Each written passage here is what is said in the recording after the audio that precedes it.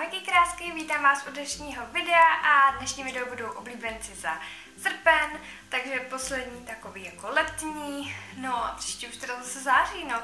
Strašně to utíká, ale, ale to úplně neskutečně, vím, že to říkám sice každý měsíc, ale tentokrát to opravdu utíká úplně nejvíc.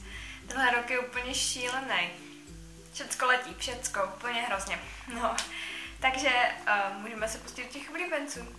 Tak jako první tady mám dvě věcičky od Dermacolu a je to z té melounové řady a to mi teda poslal Dermacol, uh, což jsem neskutečně jako ráda, protože já jsem to vůbec nečekala, jenom na mě čekal doma balíček s celou tady tou sadou a já tady jsem si nejvíc oblíbila uh, tady ten sprcháč. Vidíte, že já jsem ho používala fakt jako hodně. Už za chvilku nebudu mít. A tady tenhle ten body scrub, nebo co to je, prostě tělový peeling, ale ten je, ten je teda, ten je úplně luxusní, už jenom ta barva, jo. A je to takový, mě to připomíná, když máte prostě cukr, ta vůně, to je bezkonkurenční, to je úplně luxusní. A já ho teda používám, jako říct, že hlavně na obličej, mě jako tady ty tělový peelingy jako na obličej vůbec jako nějak nevadějí, nedráždějí mě.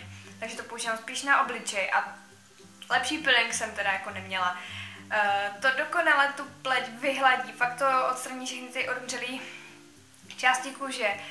A ta pleť je potom tak strašně krásně jemná a vonavá a nějak to ani nevysušuje, takže já jsem z tohohle absolutně nadšená, takže to, tomu se budu určitě vracet. Možná zkusím ještě ten kávový. Je, to zkusím teda na, asi na zimu, to kávový. To je takový utul, taková utulná vůně. Takže to si zkusím, já ten kávový musím zkusit, protože ten sprcháč já jako naprosto miluju. Miluju. A tenhle taky a tenhle už taky. Takže to nemá konkurenci. Na leto úplně nejlepší vůně. Tak, dál tu mám uh, masku na vlasy a je to tady ta keratinová od Kalosu. Uh, já jsem si vzala jenom tak jako na zkoušku tady to malé balení. Já jsem si nechtěla brát tu velkou litrovku. Takže je to až třeba příště, ale je vážně bezvadná. Voně, voně, uh, voní tak jako, jako hodně kadeřnicky. Je to strašně příjemná voně, mě to teda hrozně voní. Ale není to nic jako silného hrozně je taková hutnější a já miluju masky od Kalosu. Uh, já mám vlastně tu latte, tu asi pět let. Právě, že to je ta litrovka nebo 800 ml, ale je to strašně obrovský a furt to nemůžu za boho spotřebovat. A teď jsem si objednala k tomu ještě další, další takovou velikou a tady tuhletu. A tady to je úplně bezvadná. Jako já úplně teďka vidím, že jsou moje vlasy takový jako nadechanější a myslím, že to je možná i vidět. Jsou takový lesklejší, fakt jsou jemný, vyhlazený, strašně hezký.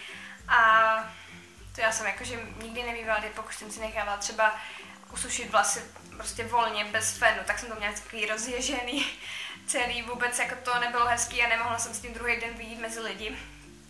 A hlavně ne, když jsem to učesala. A tady to mám učesaný a prostě ty vlasy jsou teďka strašně hezký potom. Uh, fakt doporučuji, krásně to vyhladí, úžasně se potom rozčesávají a jsou lesklí a vůbec to vlastně nemastí a já to nanáším skoro jako v hlavě, jo, protože tady se mi to furt cucká tady vzadu nevím proč, tam je to takový nějaký, takový riziko, taková riziková oblast, takže tam se mi to furt. Takže já to nanáším fakt až takhle k hlavě a vůbec to nemastí vlasy, takže bezvadný a nanáším jako toho docela dost. tu doporučuji, úžasná. Mám tu další věc teda od Kalosu a vzala jsem si teda tady tohleto nějaký, ježiš, co to je, co to je? Nějaký jako regenerační mléko do vlasů Vypadá to teda nějak takhle. Je to ve spreji. No, je to prostě takový jako mléčný sprej, který by je dobrý pro suchý a poškozený vlasy. Eh, nanáším ho teda eh, po umytí prostě do vlhkých vlasů. A pokud máte problém s rozčesáváním, tak s tímhle už to mít nebudete. To je nejlepší produkt na rozčesávání. Já jsem vždycky měla právě takový ty, ježiš, takový ty bezoplachový kondicionéry od Gliskur, tomuhle se to nedá, nemůže rovnat vůbec.